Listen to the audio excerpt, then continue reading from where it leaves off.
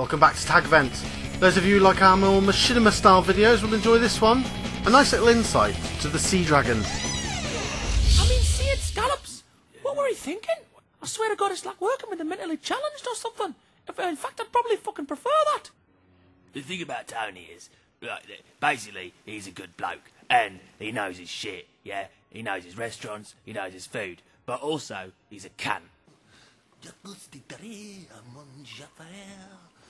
Oh, Paris, Paris, Panchunta. Right, Pierre, Ah, we need a little. uh, Oi, Pierre, mate, uh, put your baguette down. what? We need a chat. Hello, Dave. What is the problem? You okay? Listen, it's a no-go on the sea at scallops. I had a word with Oh. Tony. No, no, no, let me fucking finish.